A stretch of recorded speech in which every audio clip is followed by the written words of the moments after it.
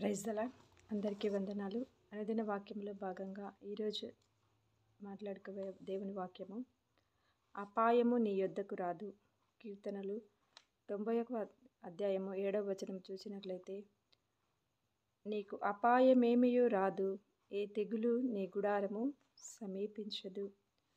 ఇంకా అంతేకాకుండా దేవుడు ఏమంటున్నాడు అంటే నీ ప్రక్కన వెయ్యి మంది పడినను నీ కుడి పక్కన పదివేల మంది కూలినను అపాయము నీ యొద్దకు రాదు.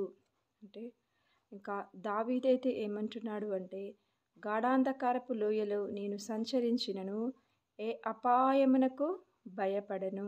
అంటే దేవుడే చెప్తున్నాడు నీకు అపాయమేమియో రాదు. ఏ తెగులు నీ గుడారము సమీపించదు అను దేవుడు మనకు వాగ్దానం ఇస్తున్నాడు ధైర్యం ఇస్తున్నాడు బలపరుస్తున్నాడు. అయితే వ్యక్తి మన భక్తుల జీవితంలో వ్యక్తిగతంగా వారి అనుభవాలను చూచినట్లయితే వారేమంటున్నారు అపాయాన్ని గూర్చి అంటే అపాయం అనే మార్గం గుండా వాళ్ళు వెళ్ళినప్పుడు అపాయ అపాయకరమైన పరిస్థితుల గుండా వారు వెళ్ళినప్పుడు వారు ఏ విధమైన ధైర్యాన్ని ప్రదర్శించినారు ఆ అపాయకరమైన పరిస్థితులను ఏ విధంగా ఎన్ ఎదుర్కొన్నారో మనం చూచినట్లయితే దావీదైతే ఏమంటున్నాడంటే గాఢాంధకారపు లోయలో నేను సంచరించినను ఏ అపాయమునకు భయపడను. అంటే చూడండి దేవుని పట్ల అంత నమ్మకము అంత విశ్వాసము కలిగి దావేదేమంటున్నాడంటే నేను గాఢాంధకారపు లోయ గుండా నేను నడుచుకుంటూ ఉన్నను నేను సంచరించినను నా పరిస్థితులు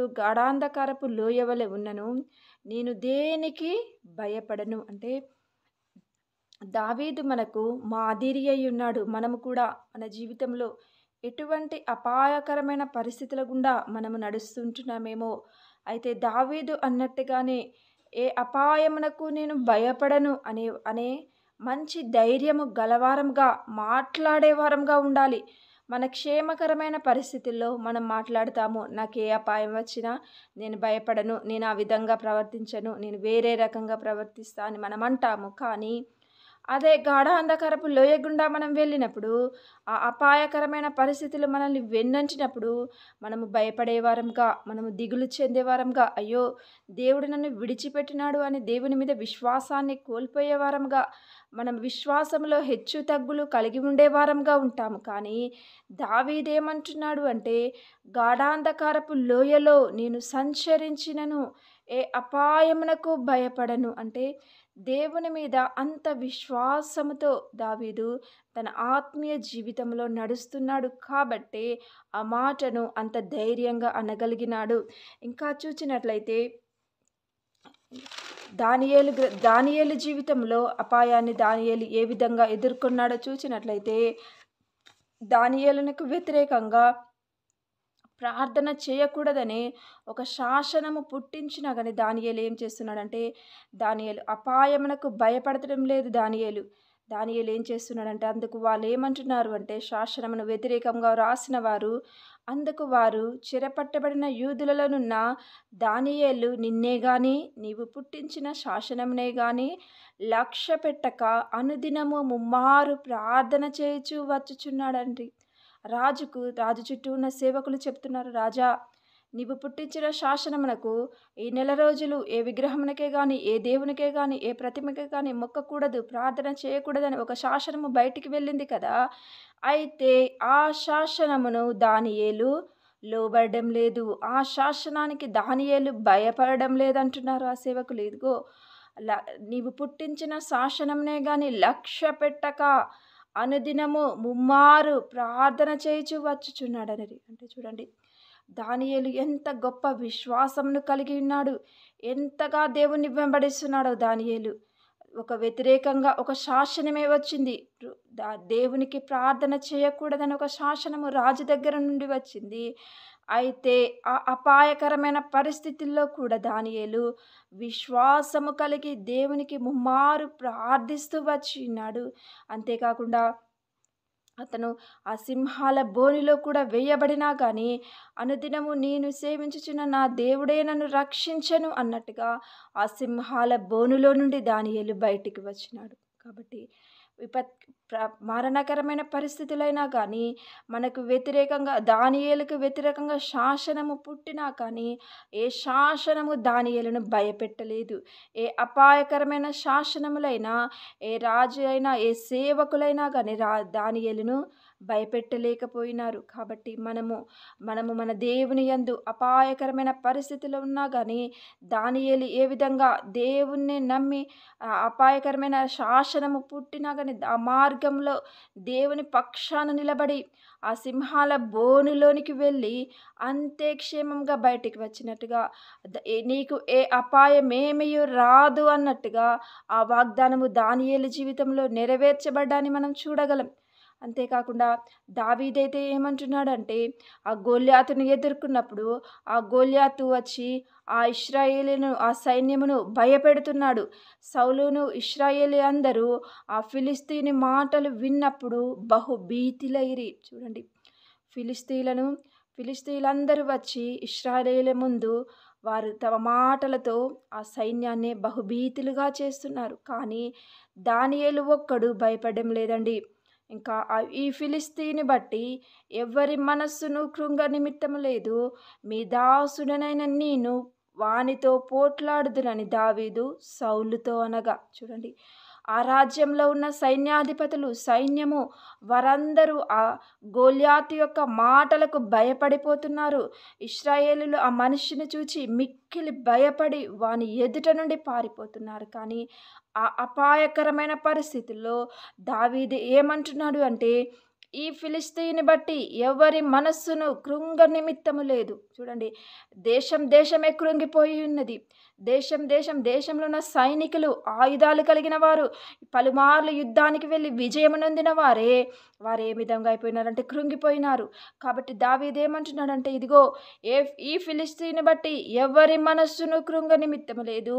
మీ దాసుడనైన నేను వానితో పోట్లాడుదునని దావీదు సౌలుతో అనగా సమయలు ఒకటవ ఒకటవ సమయలు పదిహేడవ అధ్యాయం ముప్పై మూడవ వచనంలో చూస్తే దావీదు ఎంత ధైర్యం గల మాటలు మాట్లాడినాడో ఎంత విశ్వాసము గల మాటలు మాట్లాడినాడో. అవును అపాయము తన మన ముందు ఉన్నా కానీ దావీదును భయపెట్టలేకపోయింది.